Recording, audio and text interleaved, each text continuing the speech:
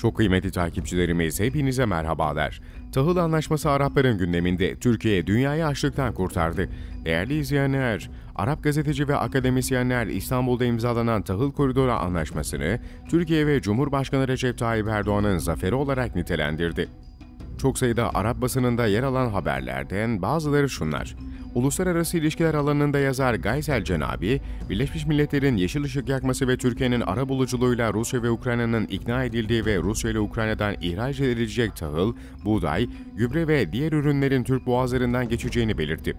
Akademisyen ve yazar Casim Selman, Türkiye'nin dünyayı açlık tehlikesinden kurtarmak için Rusya ile Ukrayna'yı anlaşma masasına oturtmayı başardığı, anlaşmanın Dolmabahçe Sarayı'nda imzalanmasının da Türkiye'nin önemine ve hem tarihi hem de güncel bir işaret olduğu yorumunu yaptı.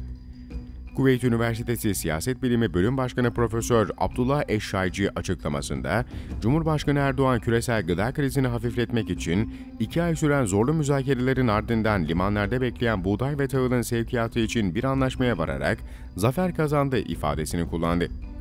Yemenli yazar Faris El Meyseri de Türkiye dünyayı açlıktan kurtardı ifadelerine yer verdi. Filistinli İsmail El Mesal El Askalani, tüm dünya Rusya ve Ukrayna'dan buğday, mısır, yağ ve yem ihracatı krizi karşısında çaresiz kaldı. Ama Erdoğan bunu çözdü yorumunu yaptı.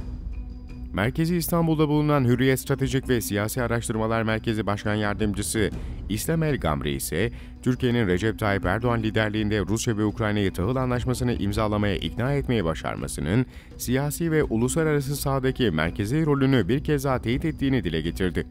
Filistinli yazar Macit Ezzeb de, Erdoğan'ın Rusya ve Ukrayna arasında tahıl ihracatı anlaşması yapılmasındaki başarısı, dünyadaki milyonlarca insanı açlıktan kurtarmasına ilaveten, uluslararası düzeyde önemli siyasi bir başarıdır.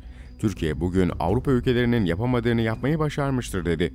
Ürdünlü eğitimci Fatıma Elbaş, tahıl anlaşmasını imzalayan ve dünya gıda güvenliğini koruyan ümmetin lideri Erdoğan'a selam olsun açıklamasında bulundu.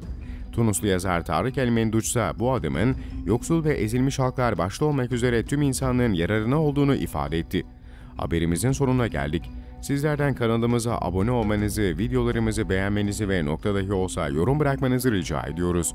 Bir sonraki haberde buluşmak üzere, hoşçakalın.